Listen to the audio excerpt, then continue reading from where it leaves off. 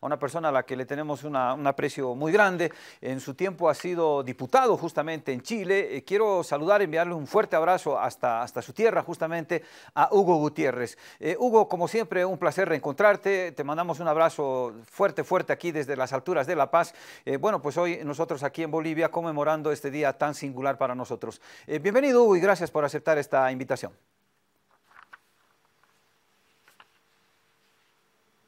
Está, parece con el micrófono apagado. Vamos a tratar de, corregir ese detallito. Ahora sí creo que va a funcionar. Quiero, quiero agradecer la invitación al canal Villa Yala y por supuesto a El Central. Quiero agradecer eh, eh, la siempre confianza que tienen en este eh, ciudadano chileno para, para, poder justamente entrevistarlo sobre, sobre tema tan relevante como sin duda los que vamos a conversar a continuación saludar a todo el pueblo de Bolivia, a quien le tengo gran afecto y cariño y con el cual deberíamos desarrollar mucha más eh, amistad durante este tiempo que viene por delante, porque sin duda hace falta mucho más de eso que llamaba justamente el presidente Evo Morales, el expresidente, la diplomacia de los pueblos, pero también necesitamos más de diplomacia estatal, que también se hizo en su oportunidad entre el presidente, el expresidente Evo Morales y la expresidenta Michelle Bachelet en esos recordados 13 puntos que fueron o marcaron un hito en las relaciones diplomáticas entre Chile y Bolivia. De acuerdo. Eh, Hugo, te comento, aquí estamos haciendo una encuesta eh, en el canal, la hacemos todos los días y hoy justamente aprovechando el tema marítimo hemos formulado una pregunta a propósito. ¿sí? la pregunta es la siguiente y sabes que te voy a, te voy a hacer participar de la encuesta porque vas a hacer, eh, hacer conocer tu criterio de manera pública, digamos. ¿no? le estamos preguntando a la gente, y también te lo preguntamos a ti ahora, Hugo, si consideran que es un buen momento para restablecer las relaciones diplomáticas con Chile. Se lo preguntamos a los bolivianos, por eso viene el tono de la pregunta. Pero digo, para ti, Hugo, ¿este crees es un buen momento para que restablezcan sus relaciones diplomáticas eh, Bolivia y Chile, Chile y Bolivia? Mira, yo creo, Grigo, que siempre es un buen momento eh, restablecer relaciones diplomáticas entre dos países hermanos, porque efectivamente lo somos. No hay diferencias eh, entre los hermanos de Bolivia y los chilenos. Nos une un compromiso por la integración, nos une un, compartir un territorio común como es América Latina. En consecuencia, creo que es fundamental que esas relaciones diplomáticas sean eh, restablecidas.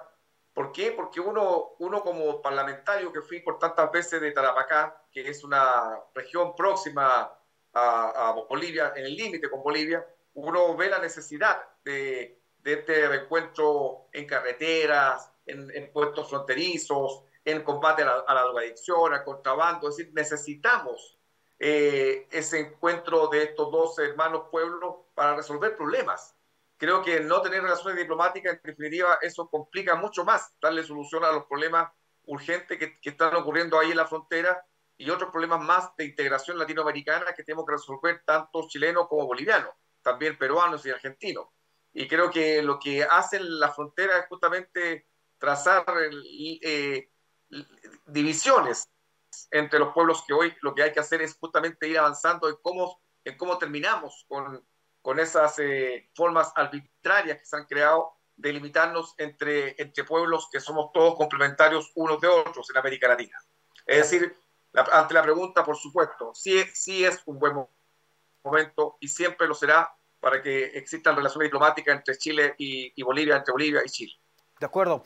Eh, lo decíamos al introducir este momento, Hugo, hoy el eh, discurso del presidente ha tenido un matiz distinto, eh, al margen de todo lo que habitualmente se suele recordar, refrescar en estas oportunidades. Hoy el presidente Luis Arce avanzó en una propuesta y dijo, le lanzo esta propuesta a Chile, ¿no es cierto? Son siete puntos, a diferencia de la, de la anterior agenda de 12, son siete puntos que quisiera repasarlos contigo, así los compartimos con nuestra audiencia y podemos ir viendo justamente y conociendo un poco tu criterio respecto a ese tema tenemos preparados unos cuadros en los cuales justamente vamos a ir poniendo punto por punto de la propuesta que ha hecho conocer hoy nuestro presidente Luis Arce. Eh, el primero de los puntos, el primero de los temas, eh, señala concretamente mar para Bolivia. Mar para Bolivia. Y el razonamiento es el siguiente. El fallo de la Haya abre esa posibilidad y como pueblos hermanos debemos trabajar para que esta herida en el Avia Yala se cierre. Estoy seguro que eso sería de gran alegría para toda la comunidad internacional. Eso dijo hoy el presidente al tiempo de evocar el contenido de la sentencia del Tribunal de la, de la Corte Internacional de Justicia de la Haya, en sentido de que Bolivia y Chile tienen que sentarse a seguir dialogando. No sé si tienes alguna, alguna reflexión sobre este tema, Hugo. Mira, yo, yo eh, quiero eh, felicitar al presidente de Bolivia, presidente Arce, por esta propuesta que hace. Yo creo que sin duda, a diferencia de lo que fue con, con el, el expresidente Evo Morales y la expresidenta Michelle Bachelet, en que ambos concordaron. Recuerde que eran 13 puntos, pero posteriormente yo sé bien la historia, porque tuve la oportunidad de conversar en, en, en su tiempo con el, el ex canciller eh, Choquehuanca, quien me, me comentó que, que, existía la voluntad de avanzar en el tema marítimo entre la expresidenta Bachelet y el, y el expresidente Evo Morales, pero lamentablemente eh, quien debía continuar con esa agenda de los 13 puntos era eh, el candidato de la concertación en ese tiempo, Eduardo Frei Ruiz Tagle. Lamentablemente ese candidato perdió, ganó Piñera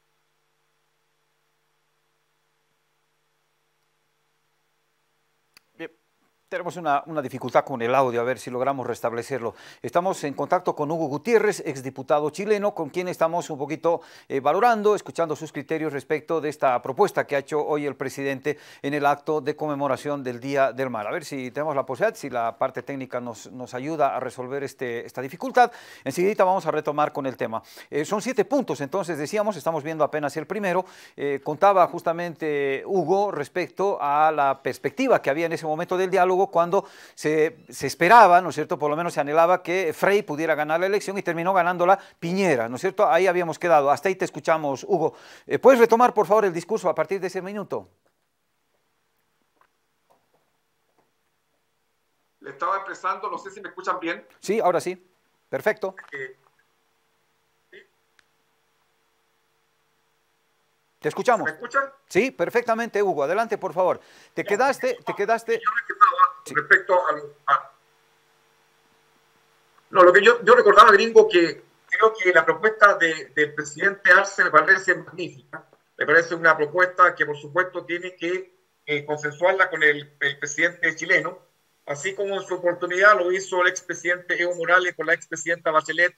Creo que tienen que concordar estos puntos. Esta es una propuesta que hace el presidente boliviano, tiene que concordar esta, esta agenda con el presidente chileno y ahí concordar los temas que se están proponiendo y que por supuesto lo, lo ha presentado el presidente Arce y creo que todos los puntos que ha señalado por supuesto son, son de un gran sentido para Bolivia y también tendría que hacernos sentido a nosotros porque igual son temáticas que, que que vamos a mencionar, pero son todas relevantes también para, para, para Chile y para buscar esa, esa buena relación diplomática, eh, esas buenas eh, relaciones de pueblo que lamentablemente se perdieron durante el, el gobierno de, de, Piñera, que desahució toda posibilidad eh, de encontrar respuesta a esos 13 puntos, que eran 13 puntos, entre ellos estaba el tema marítimo en el, en el tema en el punto 6, y que lamentablemente fue todo desahuciado por el gobierno de Piñera y ahí ya vino todo el espiral que ya conocemos, la demanda de Bolivia uh, en La Haya en contra de Chile, pero todo esto pas, pas, pas, partió y pasó por el gobierno de Piñera, quien no tuvo la más mínima concordancia con lo que había hecho la expresidenta Bachelet, que sin duda en ese tiempo entre ella y el, y el presidente eh, Evo Morales tuvieron la buena voluntad de querer avanzar una serie de temáticas que hoy si hubiésemos avanzado en ellas hoy no tendríamos muchos los problemas que se presentaron en la frontera. Pero lamentablemente Piñera no solo cometió errores de ir a Venezuela a invitar a, a los venezolanos a Chile, sino que también eh, cometió el gran error imperdonable de desahuciar las conversaciones con eh, Bolivia que habían, eh, habían, habían avanzado de manera significativa la presidenta Bachelet con el presidente Evo Morales. De acuerdo, Hugo. Segundo punto, vamos por favor con el cuadrito. El segundo punto tiene que ver justamente con otro fallo de la Haya, esta vez vinculado a las aguas del Silala. Tenemos ahí, enseguidita nomás, vamos a poner en pantalla el cuadro respectivo. Dice así, aguas del Silala, segundo punto en la agenda que propone Luis Arce a Chile. Hoy, a diferencia de antes, que justamente de que se conociera el fallo de la Haya, nuestro país puede ejercer su derecho a desmantelar la canalización, restaurar los bofedales del lugar y aprovechar las aguas del Silala para beneficio de nuestros pueblos. Es una, una manifestación que eh, la ha complementado informando que los ministerios de Relaciones Exteriores y Medio Ambiente de Bolivia, además de la dirección Diremar, trabajan para efectivizar esos derechos en el marco eh, de lo que establece el fallo de la Haya. ¿Qué comentario te amerita este, este segundo punto que incorpora en su agenda con Chile nuestro presidente Luis Arce Hugo? Bueno, yo creo que es un tema que también estaba contemplado en la agenda de los 13 puntos, las aguas del Silala era un tema que, que, sin duda le interesaba a Bolivia tratarlo, y me imagino que va a seguir interesado en tratarlo con Chile. A Chile también, por ende, le interesa. Recuerde que quien llevó por el tema del Silala eh, a, la, a los tribunales internacionales fue Chile. En consecuencia, yo creo que hay un, hay un tema pendiente que igual hay que resolverlo, porque, eh, porque el, el manantial, las aguas están del lado boliviano y, claro, transcurren en dirección de, de Chile pero yo creo que ahí hay una necesidad de poder eh, dialogar. hay, hay muchos temas que si tenemos buena voluntad, Chile necesita el agua, Chile necesita gas, Chile necesita integración, Chile necesita ponerse de acuerdo en los límites fronterizos. Es decir, hay tanta temática, eh, gringo, que, es fundamental que, que los países se junten a conversar. Por eso la propuesta, como te decía inicialmente, la propuesta que hace el presidente Arce me parece qué es lo que corresponde hacer ahora. Es decir, yo creo que es ahora en que necesitamos conversar sobre temas tan relevantes como lo que estamos, eh, lo que él está planteando y como lo veremos a continuación, como es el tema del litio y los recursos naturales. En consecuencia, hoy es el momento de juntarse a conversar. De acuerdo. Eh, avanzamos al tercer punto que tiene que ver con el cumplimiento del Tratado de 1904. Dice el presidente Arce, al tiempo de proponer este, este punto, invocamos a Chile al cumplimiento de sus compromisos con Bolivia, tal como lo establece el Tratado de 1904. Cualquier medida que afecte el libre tránsito debe ser acordada en actos especiales. Por tanto, Bolivia no reconoce las medidas unilateralmente impuestas por Chile que obstaculizan el comercio exterior boliviano, generando importantes sobrecostos de transporte. Eh, narraba el presidente, entre sus argumentos, que hay varios estudios, por ejemplo, uno de ellos de ALADI, de la Asociación Latinoamericana de Integración, que indica que Bolivia paga un 33% más en costos de transporte terrestre que los demás países de la región, precisamente por esta su condición. Eh, cumplimiento del Tratado de 1904, Hugo, tu reflexión.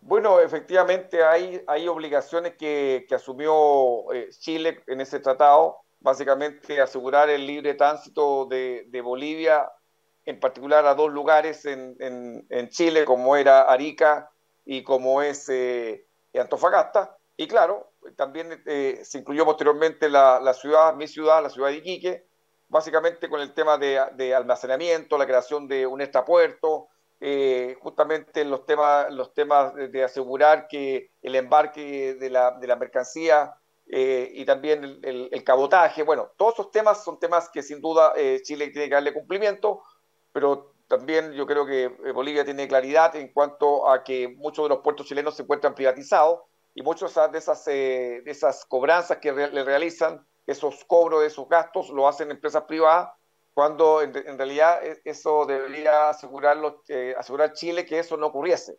Lamentablemente, en una sociedad como la que vivimos nosotros, neoliberal, eh, todos esos cobros, todo eso, por ejemplo, en el caso puntual de los puertos, están en manos privadas y son ellos los que realizan esos cobros y Chile debería haber asegurado de que eh, esa, esa, libre circulación de las mercancías bolivianas eh, por puertos chilenos estuviese asegurado sin esos sobrecargos que sin duda le realizan hasta el día de hoy a, a, los transportistas eh, bolivianos. Eso me queda claro, lo tengo muy claro, porque justamente una ciudad por donde sacan mucha mercancía y ingresan mucha mercancía a Bolivia es por, por el puerto de Iquique. Acuerdo. Eh, avanzamos al cuarto punto. Estamos con Hugo Gutiérrez, exdiputado de Chile, con quien estamos analizando un poco este, este escenario, ¿no es cierto?, de la posibilidad de que podamos avanzar en el restablecimiento de relaciones entre Bolivia y Chile. El punto cuatro que propone el presidente Luis Arce tiene que ver con la privatización de los puertos chilenos. Dijo el presidente hoy, llamamos a Chile a cumplir con sus compromisos de libre tránsito y permitir a Bolivia operar nuestra propia carga, bajo condiciones que prioricen la, fa la facilitación del comercio antes que el lucro de algunas cuantas empresas. Puertos chilenos privatizados, Hugo, y eso de alguna manera, así es la interpretación que hace el presidente, esto de alguna manera violenta o, de una manera flagrante, diríamos, violenta los alcances del Tratado de 1904, otra vez, ¿no es cierto? Que es cuando a través de, eh, derivándole al sector privado, una responsabilidad que tú tienes a partir del Tratado de 1904. ¿Qué te parece esta, esta propuesta? Bueno, yo creo que le daba respuesta anteriormente. Efectivamente, uno de los problemas que, que, han señalado particularmente los camioneros eh, bolivianos es los sobreprecios que se le cobran, porque eh, todo el cabotaje está en manos de, privados. Los puertos, el puerto principal que hay en, en mi ciudad, en Iquique, es un puerto privado el puerto que es del Estado está prácticamente abandonado. Se dedica básicamente a, recibir barcos eh, turísticos y, no se dedica a, tener el tema, al, tema de, las cargas, que eso le pasa, se las pasan, a, pues se lo pasan a, los, a los puertos privados. Yo creo que hay un reclamo legítimo y creo que es uno de los puntos que sin duda tiene que ser motivo de conversación en esta, en esta agenda que tienen que eh, diseñar eh, tanto el presidente de Bolivia como el presidente chileno. Muy bien. Eh, seguimos avanzando. El eh, quinto punto que propone el presidente es este tema que seguramente pues va a generar más de una, de una interpretación, de una suspicacia. Tiene que ver con el litio. El litio, un recurso para la integración y el vivir bien con soberanía. Tenemos litio en Bolivia, Chile, Argentina y Perú y estamos dispuestos a diseñar de manera conjunta una política que asegure la posición de nuestros países como proveedores de este tipo de energía en condiciones soberanas que favorezcan a nuestros pueblos. La propuesta del presidente, hacer una suerte de cártel de litio, una suerte de OPEP del litio, como planteara Andrés Manuel López Obrador, presidente de México, eh, esta la quinta propuesta para Chile. ¿Cómo la ves, eh, Hugo? Bueno, es una gran propuesta que por supuesto yo creo que no hay nadie que podría negarse a, una propuesta como esta. sin duda, el litio es el, combustible del mañana, es lo que va a mover la, humanidad. Muchos países requieren el litio justamente para la creación de las baterías. ¿ah? La, necesidad de litio es eh, urgente. Hay muchos países que, que, están reclamando eh, que se pueda eh, explotar ese mineral. Acá en Chile, lamentablemente, el que explota el, litio es una empresa privada, SQM, que era una empresa que pertenecía al Estado chileno. Lamentablemente, en tiempo de la dictadura, como tantas cosas ocurrieron, eh, fue privatizado la explotación del litio del salar de Atacama y lamentablemente la transición que tuvimos en este país, una transición eh, de cartón piedra, piedra es decir, una, una, transición bastante falsa por lo demás, no llevó a ningún lado y eso impidió también que esas empresas que habían sido privatizadas se pudieran recuperar. Una empresa que sin duda sería, debía ser del Estado. Esos contratos vencen en Chile el, 2000, el 2030, pero yo creo que aquí es tan potente el, sector eh, privado y está tan convencido el gobierno de que los privados lo hacen regio, lo hacen bien, lo hacen muy bien, que creo que van a querer o van a perseverar en que eh, el litio siga en manos de los privados lo que me parece una soberana eh, eh, idiotez, ¿ah? tontera, pero bueno, eso es lo que está pasando en mi país, pero yo creo que lo que plantea el presidente de Bolivia en cuanto a crear esta comunidad de países por el litio, me parece una idea extraordinaria que sin duda deberían ser conversados entre los presidentes de estos cuatro países donde está el litio, principalmente el triángulo del litio que es Argentina, Bolivia, Chile, y, creo que se está perdiendo una gran oportunidad, una gran oportunidad, una magnífica oportunidad de crecimiento con, soberanía, pero que, eh, por supuesto, Estados Unidos, el, Comando Sur ya nos, mandó, nos mandó el aviso de que no, no quieren ellos que esas riquezas, esa riqueza en particular, el litio vaya a parar a manos de, de quienes son para ellos hoy su enemigo, es decir, la República Popular de China. Y eso es, hay una guerra de bloques que, que, está hoy transcurriendo y lamentablemente nosotros deberíamos sacarle un provecho, una riqueza que nos podría permitir grandes, grandes eh, ingresos a nuestros países para mejorar el presupuesto de la nación y darle mejor calidad de vida a cada uno de los habitantes de estos territorios. Pero lamentablemente eh, Estados Unidos, a través de la fórmula neoliberal de, de, privatizar estos recursos naturales, en Chile están privatizados. Y aquí tendría que haber una gran voluntad, una gran voluntad, cosa que yo lamentablemente no la veo, para que eh, ese, ese, ese mineral que podría traernos eh, gran, porvenir al país vuelva a manos del pueblo chileno. Creo que la propuesta del presidente Arce es una, una propuesta que tiene que ser valorada, espero, por el presidente chileno, y que en esta reunión que mantengan, yo creo que una de las centralidades que tiene que haber es justamente cómo se crea, se crea una eh, empresa interestatal que incluya, por supuesto, Argentina, eh, Bolivia, Chile y también Perú, para la explotación de este gran mineral en pro de los beneficios, en pro del beneficio de quienes, de los pueblos que habitan estos territorios. De acuerdo, Hugo. Vamos a las dos últimas, eh, las voy a ligar un poquito porque tiene que ver con temas de fronteras, ¿no es cierto? Es el punto número seis que está referido justamente al asunto migratorio, que es el que hoy por hoy está preocupando un poco más a las autoridades allá en Chile, ¿no es cierto? Este problema de la migración de venezolanos que pasan en tránsito por Bolivia y luego van hacia Chile. Eh, Bolivia propone un diálogo entre todos los países involucrados en la emigración de nuestra región, abordando el tema migratorio desde la perspectiva de la defensa y el respeto de la vida. Esa es la explicación que ha dado el eh, presidente eh, Luis Arce. ¿sí? Eh, con una mirada distinta al, fenómeno migratorio, como el fenómeno migratorio como un, diríamos, como un derecho, como un derecho humano que es justamente la movilidad, ¿no es cierto?, la posibilidad de, de, moverte. Y el séptimo, el séptimo punto, ¿verdad?, el séptimo punto en la agenda tiene que ver con el trabajo conjunto que deberían realizar Chile y Bolivia contra el crimen organizado y contra el contrabando, ¿sí? Otro tema. Eh, ¿Te parece hacer un resumen de ambos asuntos y, cerrar con esa tu última lectura de estas dos propuestas, eh, Hugo?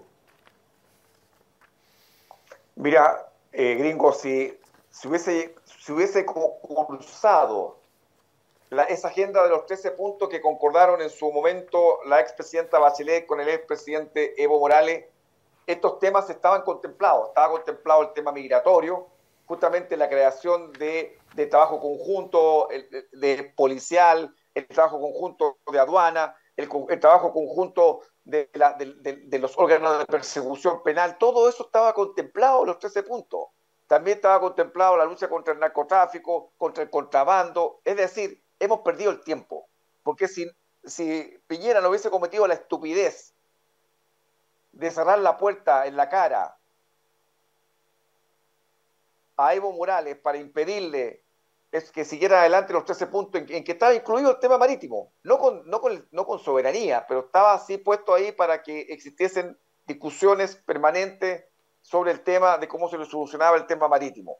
Pero todos los temas, que está en el sexto y séptimo que, presenta el presidente Arce, estaban contemplados. Es decir, cuánto tiempo hemos perdido y cuántas cosas han pasado justamente por haber desahuciado una agenda que fue relevante, fue un hito en su momento que hoy pudo haber impedido, si esos puntos se hubiesen seguido desarrollando de buena fe por, todas las partes, hoy tendríamos eh, frontera segura, tendríamos la posibilidad de, atacar el contrabando, de atacar el, tráfico ilícito de droga, podríamos haber solucionado los temas de inmigración, tanto temas que, se pudo haber solucionado si es que e, este discriteriado de Piñera no hubiese eh, impedido, no hubiese cerrado la, posibilidad de avanzar con los 13 puntos. Entonces son puntos que son relevantes, que ya siempre, ya, ya siempre se han visto como temas importantes a resolver entre Chile y Bolivia y espero que también sean eh, objeto de discusión el día de mañana en una agenda compartida entre eh, Bolivia y Chile. Bien, Hugo, realmente ha sido buenísimo charlar estos minutos contigo, escuchar tus reflexiones, tus opiniones. Nos alegra muchísimo siempre estar en contacto contigo, así que bueno, eh, vamos a ver cómo anda esto, ¿no es cierto? Por lo pronto estamos en un primer momento, ¿no es cierto? Un primer intento de acercamiento. Vamos a ver cómo va evolucionando esto. Evidentemente, la recuperación de confianza es, uno de los elementos que sin duda hay que empezar a trabajar, a avanzar, y eso seguramente va a tomar algún tiempo. Pero bueno, en fin, esperemos, confiemos en que dos presidentes eh, de tinte socialista puedan avanzar de la mano en estos y otros temas tan importantes. Eh, como siempre, Hugo, un abrazo grande para ti y bueno, atentos a cualquier ratito estar molestándote nuevamente para escuchar tus opiniones. ¿Te parece? No, para mí no es ninguna molestia, al contrario, es muy grato poder conversar con, eh, contigo y conversar a través de tu persona con el pueblo boliviano, pero tú apuntaste a algo que es medular, que es eh, el desarrollo de las confianzas mutuas Creo que eso es lo que tiene que estar sobre la mesa y sobre esa confianza mutua que tienen que desarrollarse, que surja una nueva agenda entre, entre Bolivia, Chile, entre, entre Arce y Boric, y que sin duda esté pensado en los pueblos. Aquí yo creo que a veces están pensando en otras cosas y no están pensando en el pueblo. Están pensando en, en cómo satisfacen las necesidades y las urgencias de Estados Unidos, cómo están pensando en cerrar la puerta a, la República Popular de China y no, están pensando en cómo satisfacen las necesidades de nuestros pueblos. Así que muy agradecido, adiós, que estén muy bien. Muchísimas gracias. Eh, Hugo Gutiérrez, exdiputado allá en Chile, eh, compartiendo estos minutos para nosotros muy, muy interesantes.